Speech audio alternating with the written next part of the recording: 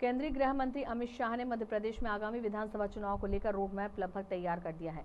इसी के तहत पार्टी प्रदेश में चार जगहों से विजय संकल्प यात्रा निकालने जा रही है। मुख्य यात्रा सितंबर महीने में उज्जैन से निकाली जाएगी। अभी इसकी तारीख तय नहीं हुई है। उज्जैन के अलावा ग्वालियर, चित्रकूट और जबलपुर से भी ये यात्राएँ निकाली जाएँगी। इन यात्राओं में से किसी भी एक स्थान पर प्रधानमंत्री नरेंद्र मोदी भी शामिल हो सकते हैं।